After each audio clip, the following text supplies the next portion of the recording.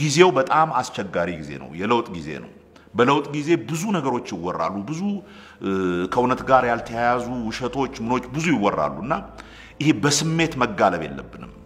ቁጭ ብለን የሰው ልጆች ነን። at end of day ትልቁ ነገር ከሌላው እንስሳ የሚለየን ማሰብ መቻላችን ነው እና ወሬ በሰማን ቁጥር አንድ ነገር ተወራ በተባለ ቁጥር እኛም አብረን እንደ መንጋ የምንነዳ ሳንሆን አስበን የምንሄድ የሰው ልጆች መሆናችንን ከእንዲህ አይነት ስሜትን ከሚገፋፉና ሰውን ለማነሳሳት ብቻ ከሚፈልጉ አይነት እንቅስቃሴዎች ራስን መቆጠብን ለእኔ፣ ለቤተሰቤ፣ ለልጆቼ፣ ወደፊት ለሚወለዱት የልጅ ልጆቼ ምን አይነት ስርዓት ቢመጣ ነው የሚሻለው? ምን ባደርግ ነው ይሄንን ላመጣ የምችለው ብለን አስበን እዚህ ፖለቲካ ውስጥ የምንገባበት እንጂ ይሄ በስሜት የሚገፋፉን ኃይሎች ዝም ብለው እየጋለቡን እንዳይሄዱ መጠንቀቅ አለብን። እነኚህ ሁለት ነገሮችን ካደረግን ፖለቲካው ሕይወት ውስጥ የስልጣን ጉዳይ ሳይሆን ያንን ስርዓት የመፍጠር ኃላፊነት መሆኑን አውቀን